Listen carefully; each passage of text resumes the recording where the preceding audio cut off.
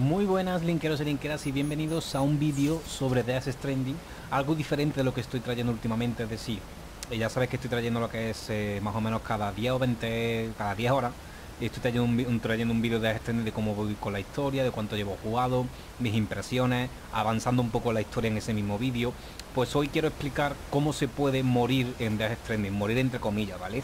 Ya dije yo que desde el principio yo estoy jugando a Death Stranding en dificultad difícil porque para mí tiene la mejor escena en game, o sea, la mejor escena de muerte o la mejor escena de fin de juego que he visto en los últimos años en un juego, ¿vale?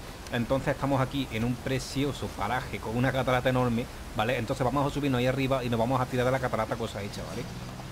Ya sabéis que se puede morir entre comillas, porque luego en verdad no es morir ese concepto en el juego, que ya si lo vais conociendo ya lo entenderéis.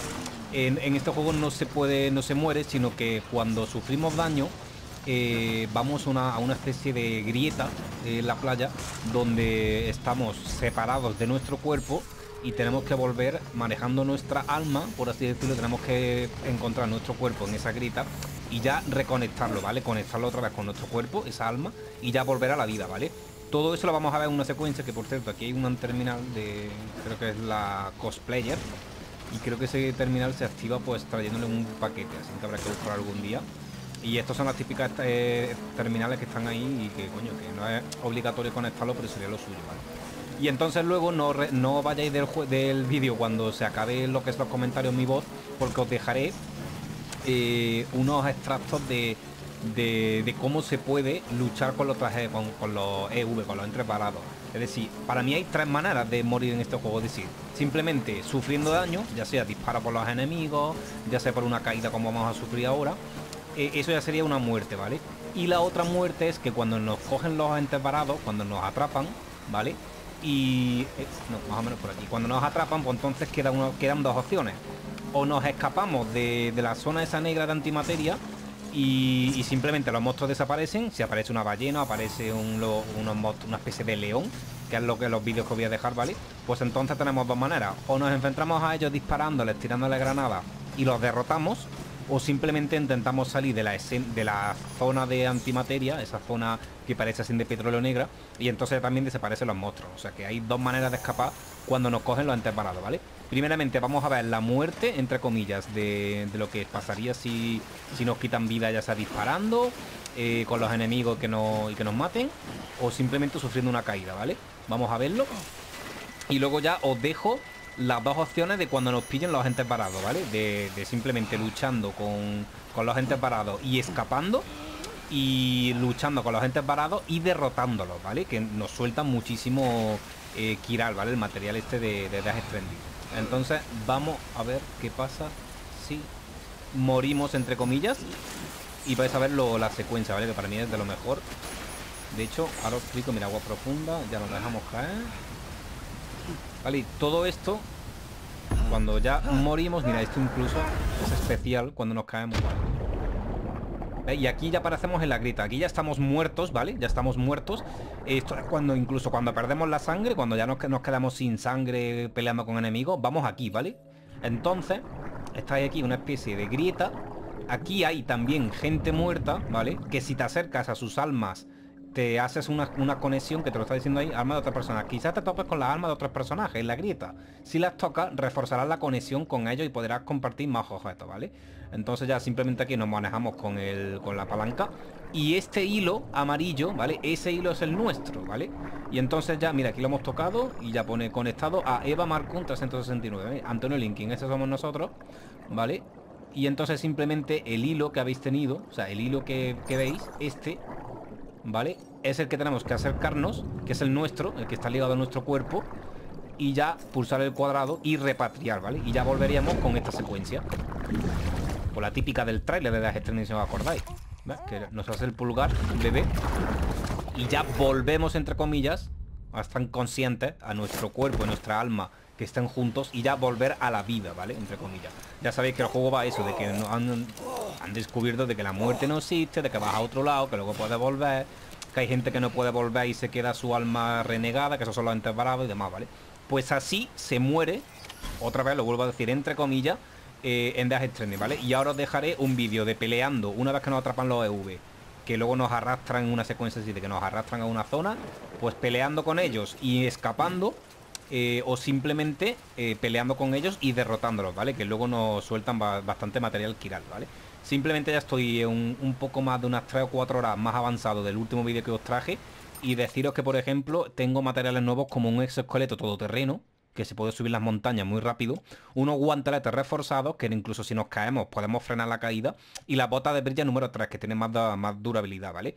Y entonces eso, ya de Trending que sabe que estás haciendo eh, misiones en montaña, que es muy, es muy pesado subir las montañas, te regala o te da la posibilidad de tener un, un exoesqueleto para subir las montañas más grandes, ¿vale? O sea, que luego, o sea, más, fácilmente. Que luego te lo pone fácil de Trending, que por ejemplo ya tenés que hacer una misión muy larga al principio del juego, ya te pone una moto, que luego tenés que hacer una misión muy larga y que, con mucha carga, te, pone un coche, como diciendo, oye, que hazlo como tú quieras, pero que yo te esté dando la, la facilidad del juego de darte una moto para que vayas en moto, de que vayas, de que vayas en coche con una carga, ¿sabes? Siempre te lo va poniendo a cosa hecha como diciendo, hostia, Así no te desanima de decir, uff, otra vez tengo que recorrer. No, no. Así es que poco a poco de escena y te va regalando cosas. Así que estoy en un momento en que tengo que ir al montañero para hacer la última misión, entre comillas, para ya conectar el último punto y que ya salgamos de esta zona. No lo sé lo que pasará, ¿vale? Aún así, tendré más noticias en el siguiente vídeo.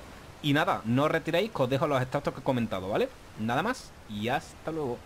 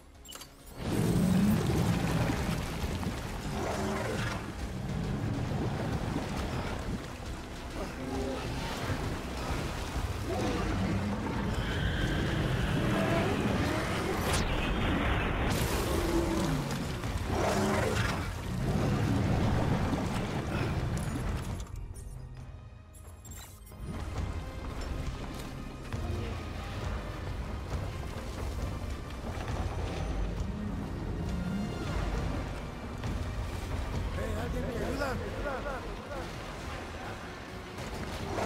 在。